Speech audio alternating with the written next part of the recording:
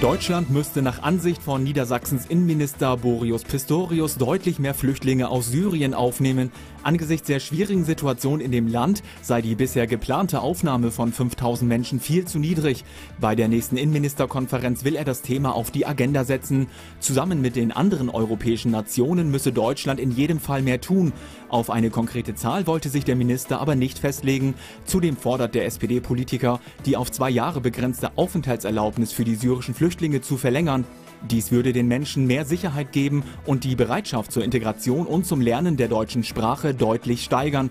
Seit Anfang des Bürgerkrieges Anfang 2011 sind mehrere Millionen Syrer auf der Flucht.